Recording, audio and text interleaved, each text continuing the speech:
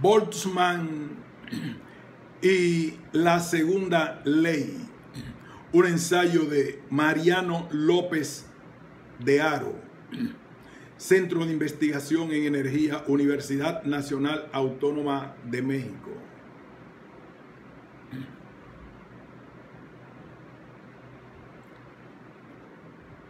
Introducción.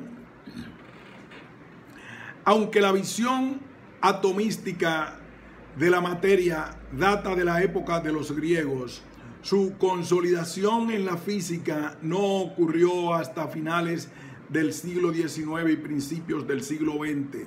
Y ciertamente uno de los personajes que debe llevarse el crédito por ello es Ludwig Boltzmann. El gran problema al que Boltzmann dedicó la mayor parte de su obra científica fue el de explicar la forma en la que los procesos físicos regulares que ocurren en los gases, para cuya descripción usualmente se emplean variables macroscópicas continuas como la densidad, la velocidad hidrodinámica y la presión, variables cuya evolución temporal está gobernada por leyes irreversibles, en particular la ecuación de la hidrodinámica, son una consecuencia del complicado movimiento en principio totalmente reversible de las muchísimas partículas microscópicas que componen el gas. A pesar de que actualmente se reconoce el éxito de su enfoque, en su día enfrentó innumerables críticas y descalificaciones que, en opinión de algunos historiadores de la ciencia, contribuyeron a su trágica muerte el 5 de septiembre de 1906. Fue una verdadera lástima que los estudios sobre movimiento browniano de Einstein, Smolowski y Perrin vieran la luz poco después, ya que le hubieran dado a Boltzmann la satisfacción de ver confirmada la validez de la teoría cinética a la que tantos y tan brillantes esfuerzos había dedicado. De la vasta producción científica de Boltzmann, aquí haremos un brevísimo recuento de aquella que tiene que ver con la segunda ley de la termodinámica. Para situar el contexto en la siguiente sección, repasemos algunas fenomenologías y mencionaremos algunas aportaciones de aquellos que contribuyeron al enunciado de dicha ley. Posteriormente, en la tercera sección abordaremos la formulación de la teoría cinética, la ecuación de Boltzmann y el llamado teorema H. En la cuarta sección presentaremos un modelo sencillo debido a Mark Kack que permite ilustrar las ideas y métodos usados por Boltzmann para entender el origen de la irreversibilidad en los procesos cotidianos. La última sección recoge algunos comentarios finales. La segunda ley de la termodinámica. Consideremos ahora dos ejemplos que provienen de nuestra experiencia cotidiana. Supongamos que tomamos un nuevo crudo y que lo lanzamos contra una pared de manera que al chocar con ella se destruya completamente. Tomemos ahora el globo inflado de manera que la presión del aire en el interior sea mayor que la presión atmosférica. Si se pincha el globo, el aire del interior saldrá hacia la atmósfera, aunque no se violarían las leyes de la mecánica si sucedieran. Es evidente que los dos procesos que hemos descrito nunca ocurrirán en la dirección inversa, es decir, que no será posible reintegrar el huevo ni hacer regresar el aire que se difunde fuera del globo hacia su interior. ¿Cómo explicar pues el que ocurran procesos en una sola dirección en la naturaleza? Para ello se requiere de la segunda ley de la termodinámica, una de las figuras prominentes en el desarrollo de la termodinámica y cuyo trabajo es un claro antecedente para la formulación de la segunda ley es Sadi Carnot. Su periodo de vida coincidió con la revolución industrial propiciada por la proliferación de las máquinas de vapor en Europa, lo que claramente influenció su única obra publicada en 1824, Reflexions sur les puissances motrices du feu et sur machines propres et développer cette puissance. Aunque en esta obra utilizó la teoría del calórico y en esa fecha no se había aún formulado la primera ley de la termodinámica. Sus resultados son en esencia correctos y en unas notas producto de su trabajo posterior y publicadas póstumamente, queda claro que había logrado reconciliar dichos resultados tanto con la primera ley como con la teoría mecánica del calor. Carnot hizo notar que siempre que existía una diferencia de temperaturas se producirá una fuerza motriz y que la potencia motriz del calor es independiente de los agentes usados para generarla. Su cantidad está determinada únicamente por las temperaturas de los cuerpos entre los que se efectúa finalmente la transferencia de calórico. También indicó que los motores cíclicos reversibles son los que producirán la máquina son los que producirán la máxima cantidad de trabajo. Fue Clapeyron el que se dio cuenta de la importancia de las ideas de Carnot y describió el ahora llamado ciclo de Carnot, dos isotermas y dos adiabáticas en un diagrama presión-volumen. Obsérvese que lo que hace todo motor que trabaje en ciclos es absorber una cantidad de calor Q1 de la fuente caliente a temperatura T1, convertir parte de ese calor en trabajo W y ceder el resto de calor Q2 a la fuente fría a temperatura T2. Utilizando la primera ley se tiene W igual Q1 menos Q2 y como la eficiencia del motor es N igual W sobre Q1, entonces N igual 1 menos Q2 sobre Q1.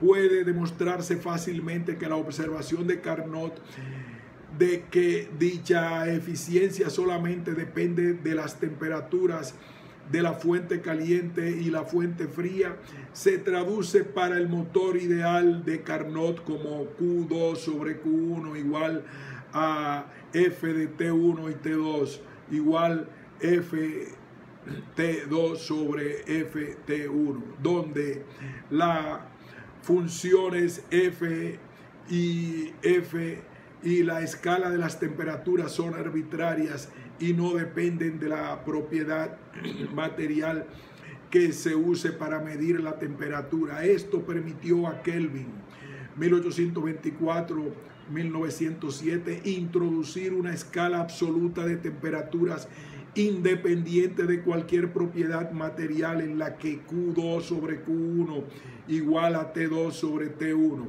en la que una eficiencia de 1 en un motor de Carnot define el cero absoluto.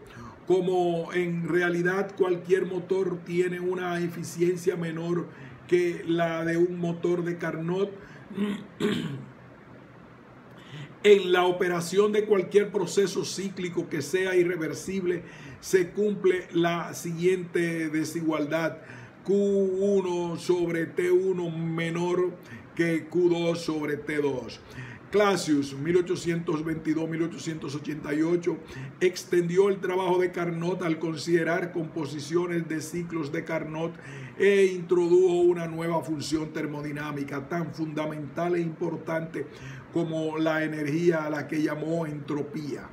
Dicha función depende únicamente de los estados inicial y final de un proceso reversible y si se denota por S sub A y S sub B los valores de la misma en los estados A y B respectivamente, entonces SB menos S sub A igual a integral de A hasta B de diferencial de Q sobre T o diferencial de S igual a diferencial de Q sobre T. Con la convención usual de que diferencial de Q mayor que cero si el sistema absorbe calor y diferencial de Q menor que cero si lo cede.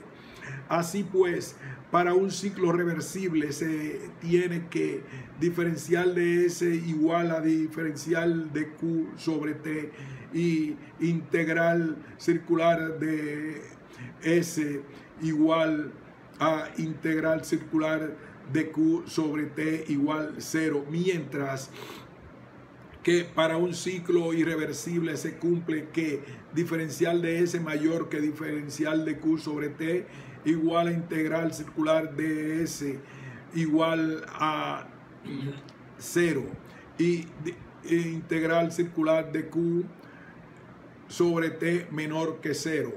Los resultados anteriores condujeron finalmente a la segunda ley de la termodinámica cuyos enunciados usuales son toda transferencia cíclica cuya única finalidad sea absorber calor de un cuerpo o fuente térmica a una temperatura dada y controvertirlo y convertirlo íntegramente en trabajo es imposible. Kelvin Planck y toda transformación cíclica cuya única finalidad sea transferir una cierta cantidad de calor de un cuerpo frío a otro caliente es imposible. Clasius. Antes de cerrar esta sección es conveniente mencionar al menos a otras dos figuras importantes en el desarrollo de la termodinámica clásica y en la aplicación y entendimiento de la segunda ley. Empezaremos con Gibbs, 1839-1903, quien entre otras contribuciones utilizó la entropía como variable independiente, introdujo el potencial químico y formuló la regla de las fases.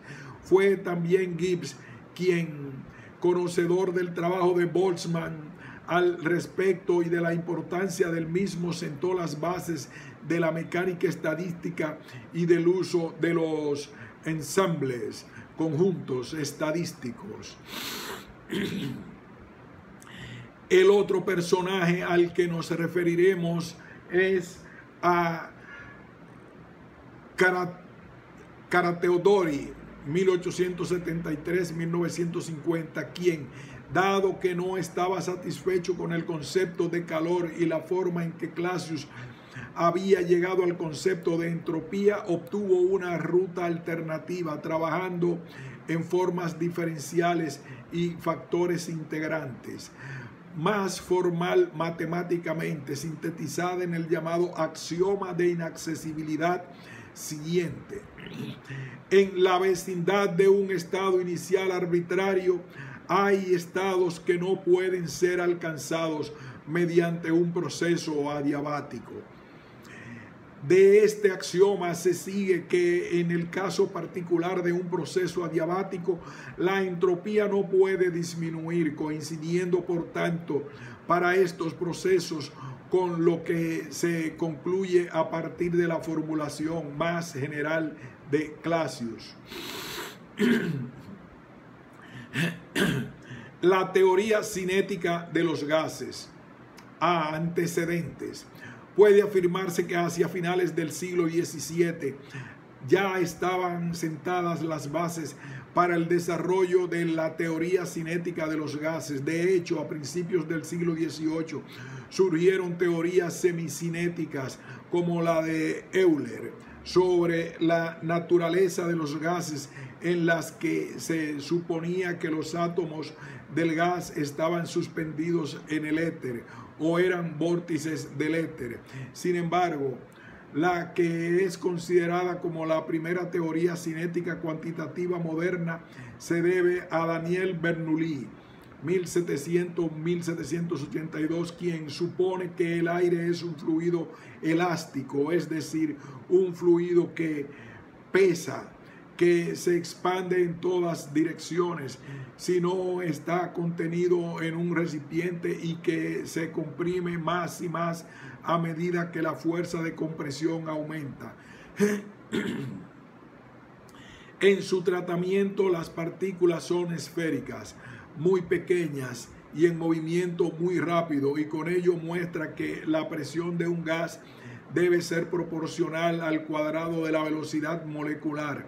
Aparentemente sin conocer este trabajo de Bernoulli a principios del siglo XIX, Herapt 1790-1868 obtuvo la fórmula que relaciona la presión con el cuadrado de la velocidad molecular e introdujo explícitamente la idea de una temperatura absoluta que era proporcional a dicha velocidad molecular en lugar de ser proporcional al cuadrado de la velocidad que es lo correcto. Fue el primero en mostrar que la teoría cinética podía dar una explicación cualitativa de diversos fenómenos como cambios de estado, difusión y propagación del sonido. Unos años más tarde, Waterstone, 1811-1883, introdujo un medio de esferas elásticas con choques entre ellas como modelo para gases reales y concluyó que la temperatura absoluta debería ser proporcional al cuadrado de la velocidad molecular.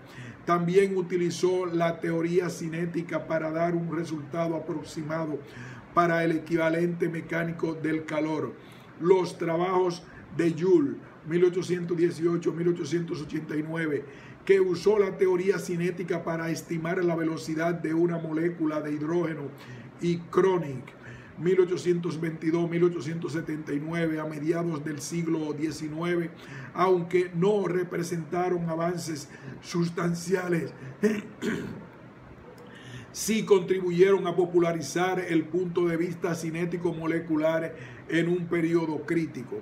El primer avance significativo vino con el trabajo de Clausius, quien en 1857 hizo una presentación sofisticada de la teoría cinética elemental que incluía un análisis muy cuidadoso de las hipótesis de la misma y de las posibles aplicaciones a varias propiedades de gases y líquidos.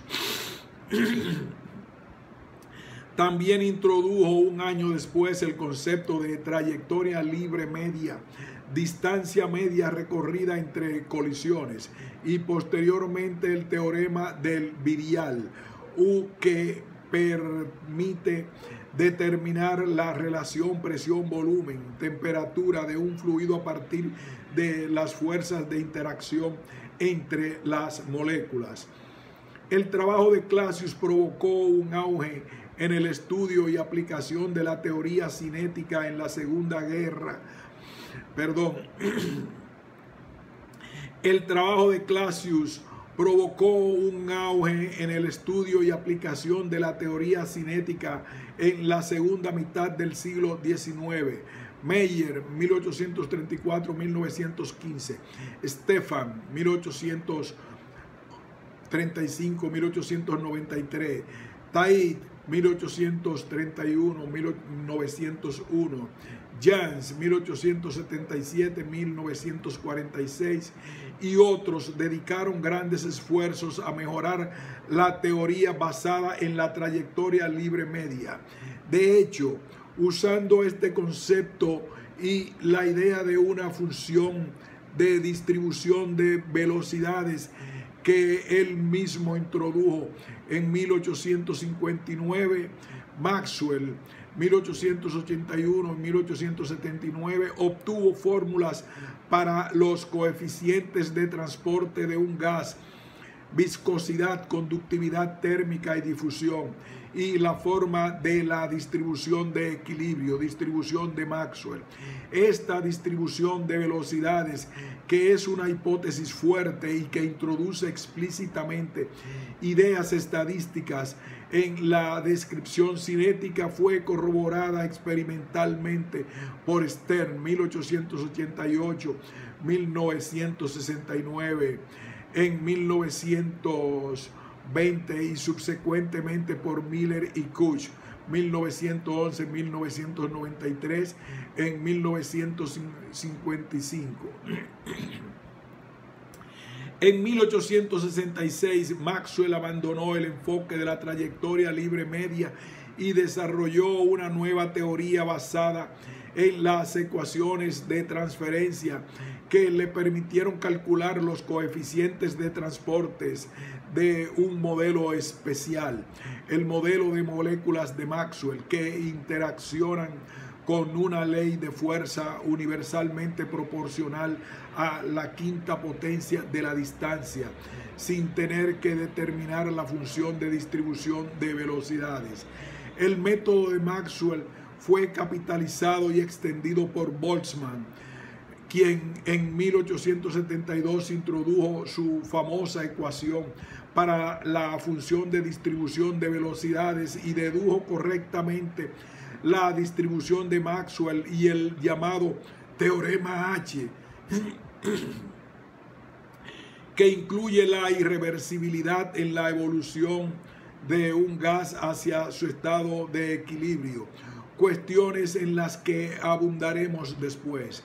Cabe señalar aquí, sin embargo, que la solución general de esta ecuación no ha sido hasta la fecha encontrada y solamente se tiene la correspondiente a moléculas de Maxwell y la que obtuvo Lorentz en 1905 para otro modelo especial, el llamado de gas de Lorentz, para el cual también es posible encontrar fórmulas precisas para los coeficientes de transporte.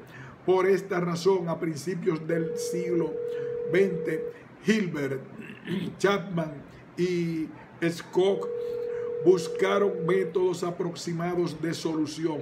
De hecho, Chapman, Chapman y Scott obtuvieron independientemente fórmulas para los coeficientes de transportes en términos de la ley de interacción entre las moléculas y dedujeron las ecuaciones correctas para la difusión y la conducción térmica de una mezcla de gases. Para este último sistema predijeron el fenómeno de difusión térmica, que luego fue corroborado experimentalmente por Chapman y Dodson. En el resto del siglo XX, la teoría fue extendida a otros sistemas y al caso de gases moderadamente densos. Para cerrar esta subsección, cabe mencionar que también en 1866, en un trabajo cuyo título en castellano sería sobre el significado mecánico de la segunda ley de la teoría del calor y que constituía su segunda publicación, por lo cual probablemente no recibió ninguna atención. Entonces, Boltzmann intentó probar la segunda ley usando únicamente teoremas de la mecánica y con la suposición muy restrictiva de que los movimientos moleculares eran periódicos de periodo tau y añadiendo el comentario un tanto extraño y sin justificar de que si las órbitas no se cierran en un tiempo finito, podría pensarse que lo hacen en uno infinito. Boltzmann también dice que se puede pensar en la temperatura como el promedio temporal de la energía cinética, mientras que el calor puede igualarse con el incremento promedio de dicha energía cinética, calculando el periodo no conocido a partir de una de estas relaciones y sustituyéndolo en la otra. Resulta que el calor dividido por la temperatura es una es una diferencial exacta, lo que constituye para él una justificación del primer aspecto de la segunda ley. Luego, usando argumentos propios de la termodinámica, pero no de la mecánica estadística, concluye que la entropía debe aumentar en un proceso irreversible. Como anécdota adicional, debe señalarse que el contenido de este trabajo fue motivo de una polémica sobre la prioridad del mismo entre Boltzmann y Clausius, de la que incluso Maxwell se mofó en una carta a Tait. De todas formas, a pesar de que ya desde 1868 había adoptado el enfoque estadístico de Maxwell en un artículo cuyo título en castellano podría ser Estudios sobre el equilibrio de la energía cinética de puntos materiales en movimiento. No fue hasta muy posteriormente que Boltzmann se percató de la naturaleza probabilística de la segunda ley. B. La ecuación de Boltzmann y el teorema H.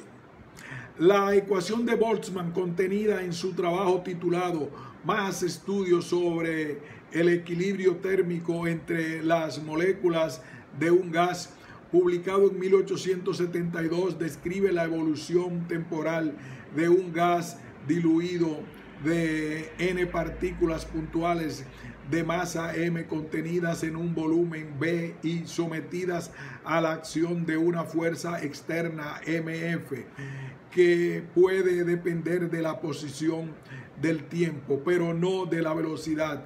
Se supone además que las partículas interaccionan a través de un potencial de par central repulsivo B de corto alcance A. Esto es, ves R más o menos igual a cero. Eh, función de R mayor que A.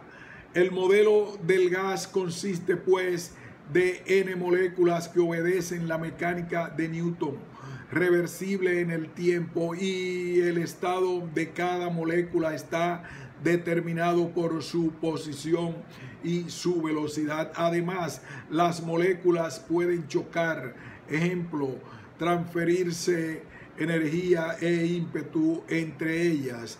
Si F de R, B y T denota la densidad de partículas que en el tiempo T tienen un vector de posición R y velocidad B que está normalizada en la forma integral de R y integral de diferencial de BF en función R, B, T igual N.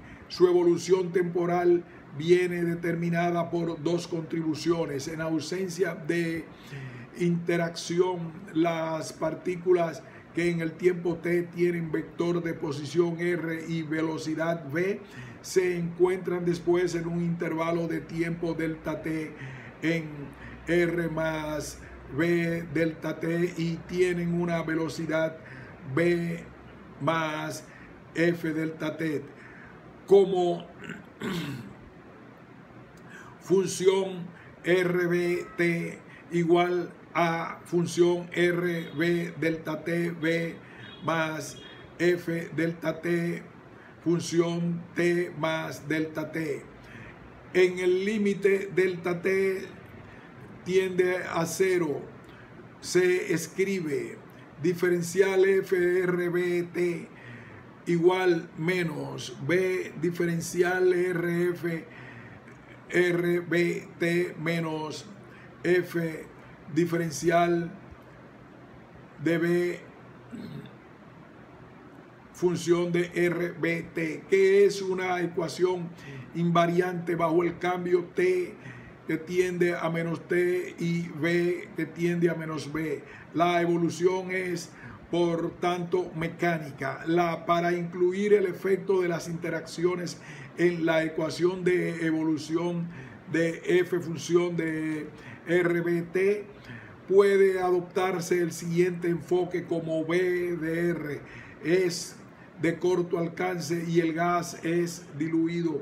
La mayor parte del tiempo las partículas se mueven según trayectorias rectilíneas hasta que tiene lugar una colisión binaria que está localizada en la región finita a posición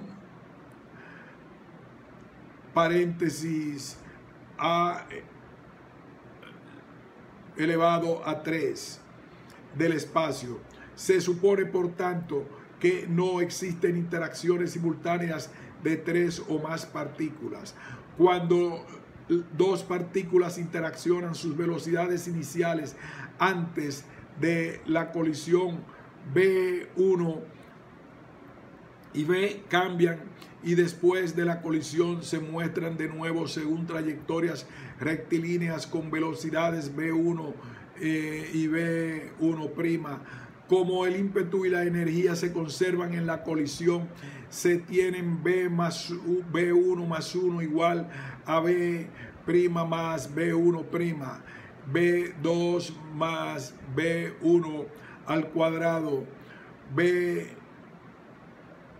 cuadrado más B1 al cuadrado, de forma que estas cuatro ecuaciones son insuficientes para la determinación cuyas fórmulas dejamos para adelantarlas más en el resumen.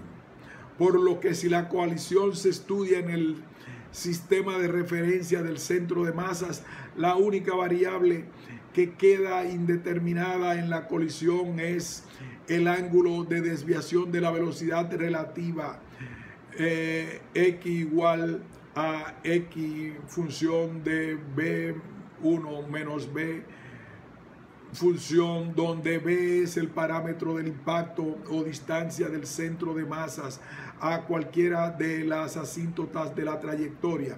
Con estas consideraciones puede determinarse la contribución de las coaliciones de la ecuación de evolución función RBT como una ecuación de balance.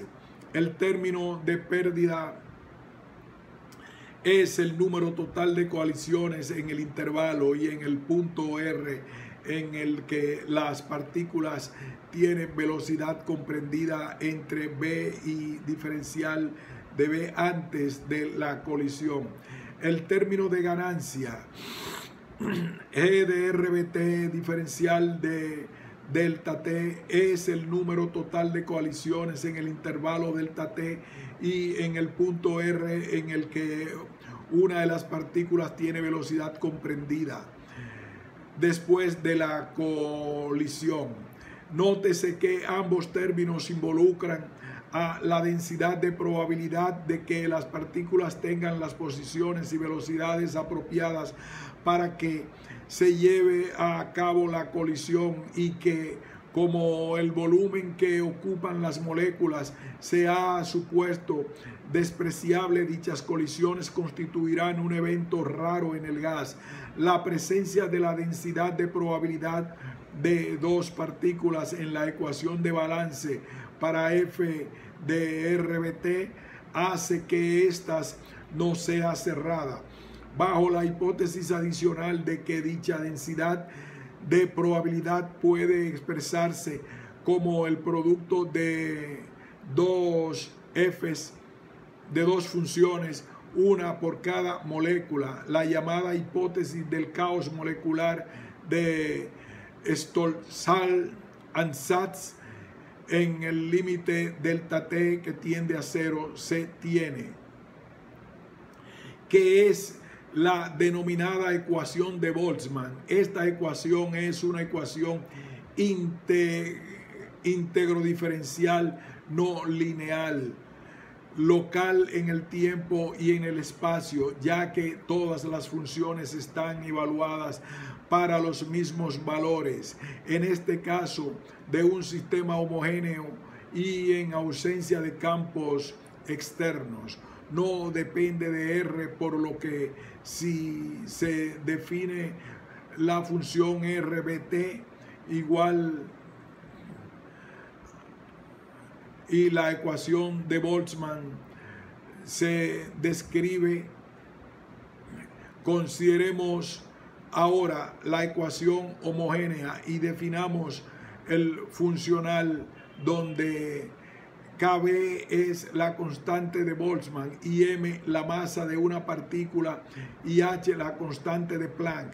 Cabe hacer notar que la introducción de estas dos constantes es posterior al trabajo de Boltzmann y que la ecuación ha sido escrita con la notación moderna y garantizando que las dimensiones sean correctas, derivando esta ecuación con respecto al tiempo y teniendo en cuenta, puede demostrarse que diferencial de derivada de h con respecto a t mayor o menor o igual que cero. Esto es la ecuación de Boltzmann que predice eh, h de t decrece monótonamente con el tiempo para cualquier función de distribución inicial. Phi de b su cero. Puede demostrarse además que h no puede decrecer indefinidamente, sino que alcanza una solución estacionaria. Phi de b igual a phi de b e infinito.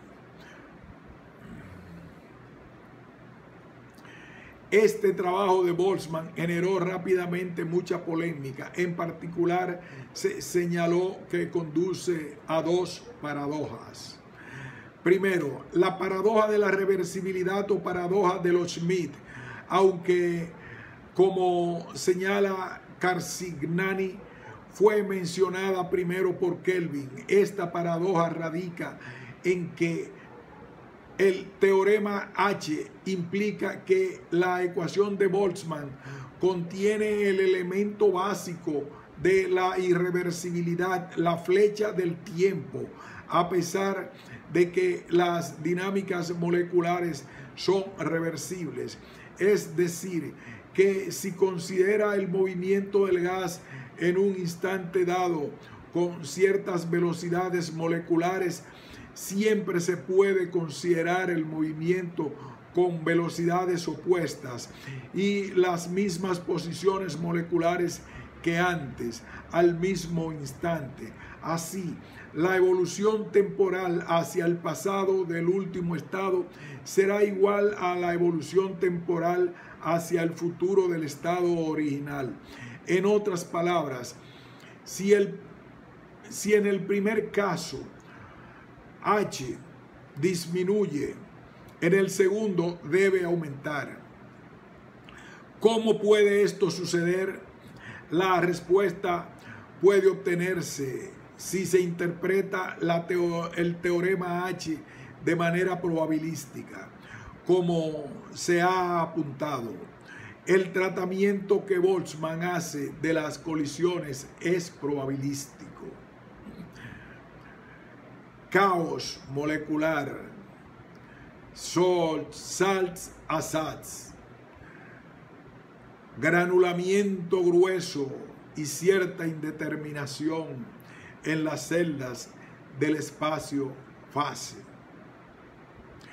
Como ya se ha apuntado, el tratamiento que Boltzmann hace de las coaliciones, de las colisiones, es probabilístico.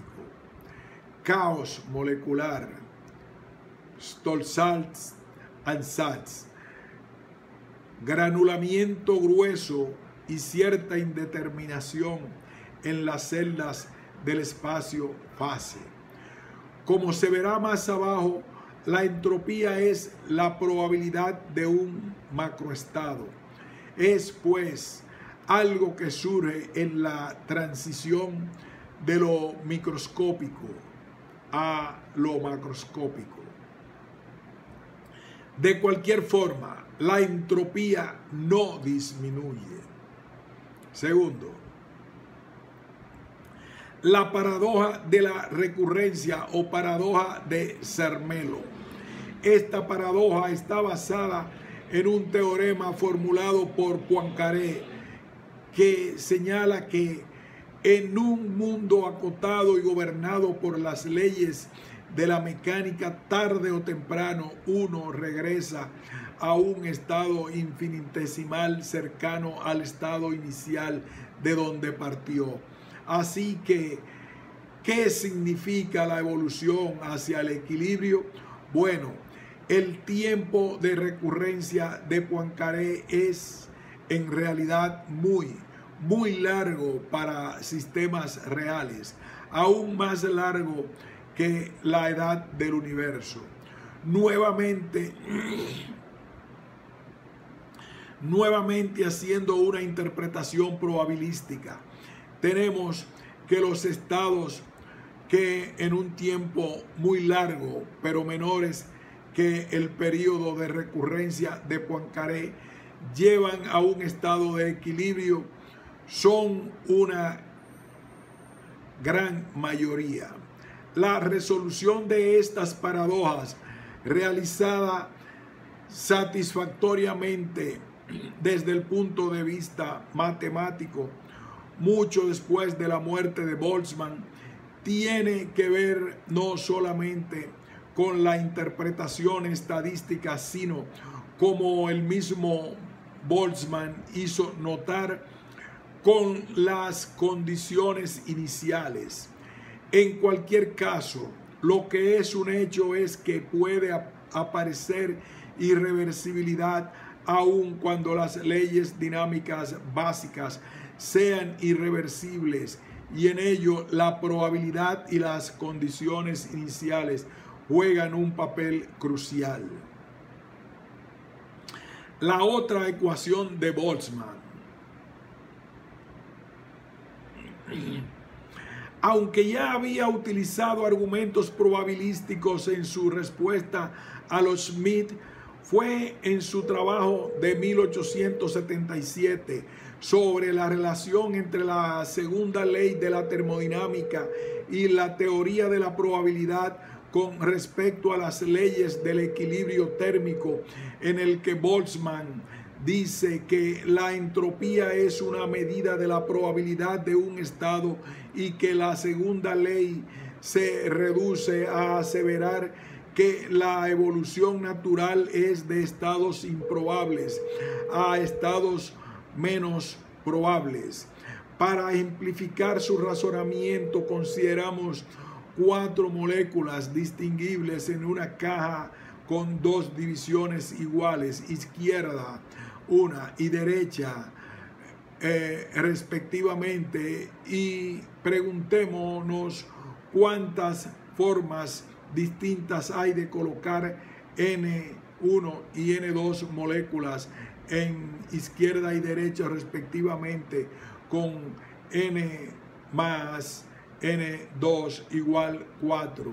Hay una forma de colocar 0 y 4 moléculas en izquierda y derecha respectivamente. Hay cuatro formas de colocar una y tres moléculas en izquierda y derecha respectivamente. Hay seis formas de colocar dos y dos moléculas en izquierda y derecha respectivamente.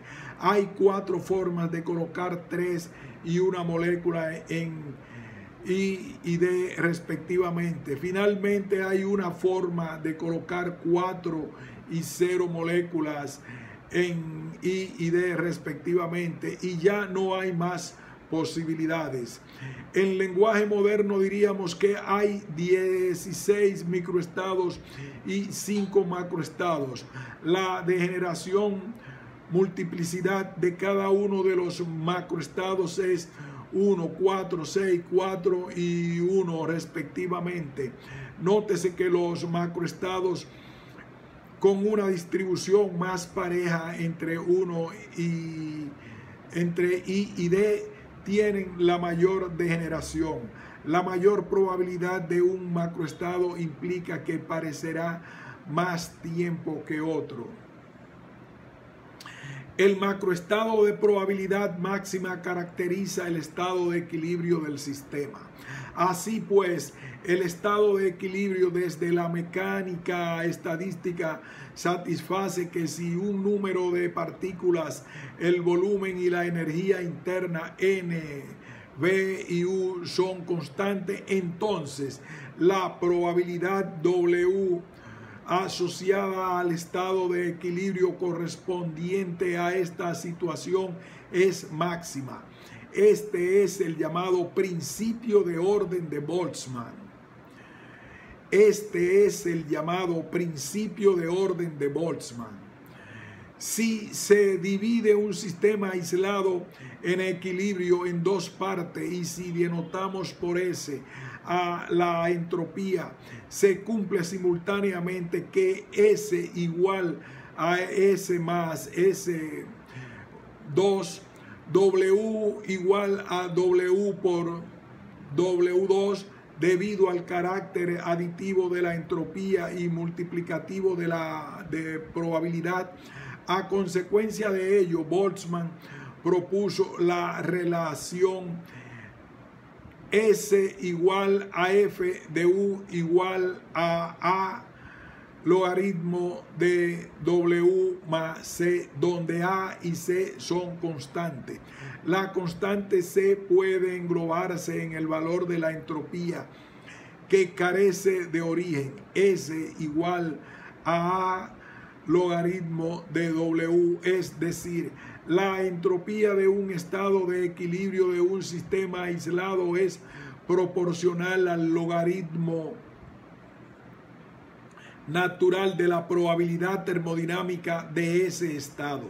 La constante A que fue introducida por Planck es precisamente lo que ya hemos llamado constante de Boltzmann y denotado por K sub E. Esta otra ecuación de Boltzmann es la que está grabada en su tumba en Viena y constituye uno de los resultados más trascendentes de la física. El modelo del anillo de KAC. En 1956, Mark Kac, 1914-1984, introdujo un sencillo modelo matemático que, aun siendo artificial, ilustra de un modo claro y didáctico la compatibilidad entre las visiones microscópicas y macroscópicas en que hemos discutido en las secciones anteriores. El modelo consiste en un anillo con n nodos o sitios, túneles cada uno situado entre dos nodos vecinos y n bolas de dos colores distintos, por ejemplo, blancas y rojas, ocupando cada una de ellas uno de los nodos en cada instante del tiempo. T igual 0, 1, 2, 3, punto suspensivo. Durante la evolución del sistema de distribución de túneles se mantiene inalterable, pero el color de la bola que ocupa cada nodo puede cambiar de acuerdo con las leyes del movimiento que vamos a describir en cada paso de tiempo. T tiende a T más 1. Las bolas se mueven en el sentido de las manecillas del reloj al nodo más próximo, obedeciendo la siguiente regla. Si para acceder a dicho nodo la bola atraviesa un túnel, se produce una interacción y entonces cambia de color, es decir, que una bola blanca se vuelve roja y viceversa, mientras que si no hay túnel entre ambos nodos, la bola mantiene su color. La figura ilustra la configuración de un anillo n igual 12 nodos y n igual 5 túneles con una cierta distribución fija desde el instante inicial T sub 0 en el que se ha supuesto que todas las bolas son blancas hasta T igual 3. Este modelo representa las dos propiedades básicas de los sistemas mecánicos clásicos. En primer lugar, es reversible, ya que si invertimos el sentido del movimiento de las bolas y aplicamos las leyes del movimiento, pasamos exactamente por todos los estados anteriores. En el ejemplo de la figura 1 es evidente que a partir de la configuración del anillo en el instante t igual 3, podríamos reconstruir las configuraciones en los instantes anteriores. Por otro lado, el modelo presenta un ciclo de recurrencia que recuerda al ciclo de Poincaré de los sistemas mecánicos. Tras un tiempo t igual a 2n, cada bola regresa a su nodo inicial por segunda vez, de modo que ha atravesado con seguridad un número par de túneles y por tanto regresa con el mismo color que tenían inicialmente. En realidad, si el número de túneles N1 es eh, un número par, el periodo de recurrencia es T igual a N. En caso de que N1 sea impar, la configuración del sistema en T igual N es la imagen invertida de la inicial. Esto es, cada bola regresa al nodo inicial pero ha cambiado de color. Es interesante observar que la duración del ciclo de recurrencia aumenta con el tamaño del sistema, aunque lo hace mucho más lentamente de forma lineal que en el caso de los sistemas mecánicos reales. A continuación, llevemos a cabo las descripciones microscópica y cinética o macroscópica del modelo. Empecemos por esta última. Descripción cinética o macroscópica.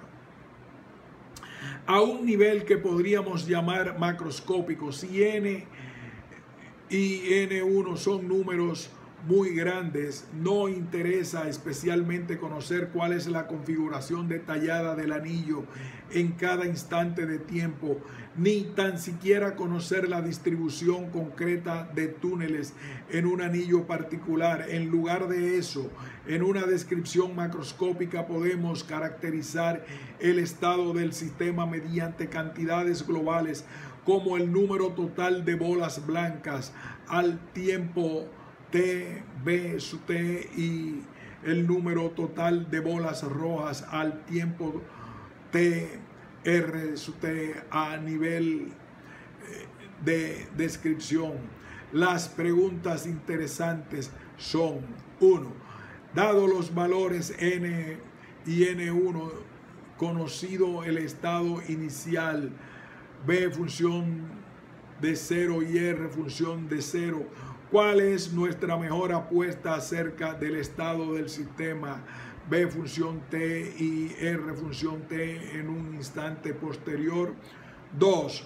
¿Alcanza el sistema un estado de equilibrio de modo irreversible cualquiera que sea el estado inicial durante el tiempo de observación accesible? A fin de poder responder a las preguntas anteriores necesitamos formular las ecuaciones de evolución para B función T y R función T. Para ello empecemos considerando las leyes de conservación del modelo durante la evolución del número total de bolas no cambia. Luego B función de T más R función de T igual a N. Tampoco varía el número de túneles, por lo que B función 1 de T más R función 1 de T igual a N1, donde como cantidades auxiliares hemos introducido el número de bolas blancas que tienen delante un túnel al tiempo T y el número de bolas rojas que tienen delante un túnel al tiempo t. Por ejemplo, en el caso de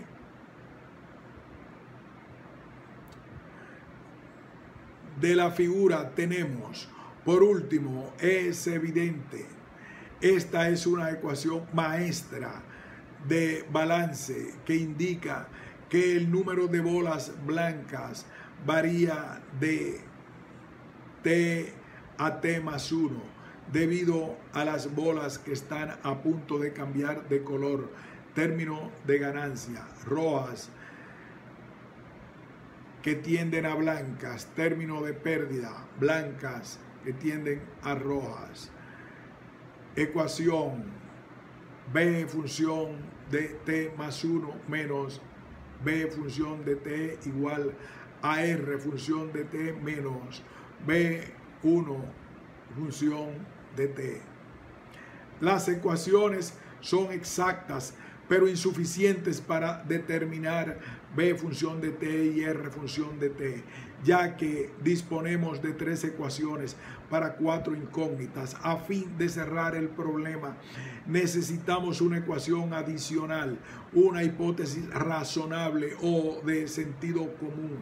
Es suponer que en todo instante t la fracción de bolas blancas que tienen delante un túnel coincide con la fracción total de bolas, ya sean blancas o rojas, que tienen delante un túnel, es decir, B función de T sobre B1 función de T igual a N1 sobre N, siempre igual a R.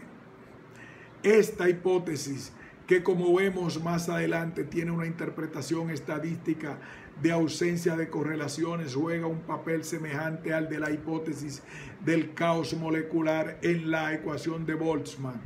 Teniendo en cuenta la ecuación de conservación, es fácil comprobar que la hipótesis es equivalente a R función de T sobre R función de T1 igual a R. El uso de la ecuación en la ecuación maestra da lugar a la ecuación cinética.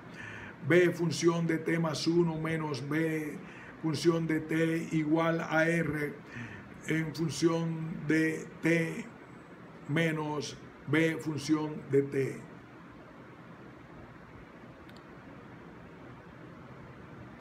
Descripción microscópica.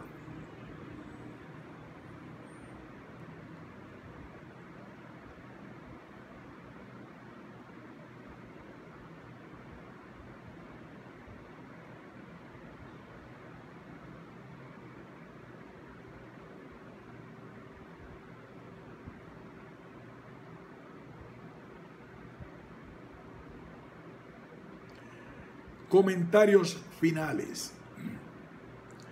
Comenzamos este trabajo señalando el gran empeño que puso Boltzmann para tratar de explicar la forma en la que los procesos físicos cuya evolución temporal está gobernada por leyes irreversibles surgen de la dinámica en principio totalmente reversible que tiene lugar a nivel microscópico, sin ser un, recuento lineal, ni mucho menos esperar haber agotado el tema. Sí hemos procurado hacer una descripción breve pero autocontenida de los elementos fundamentales relativos a su trabajo en conexión con la segunda ley.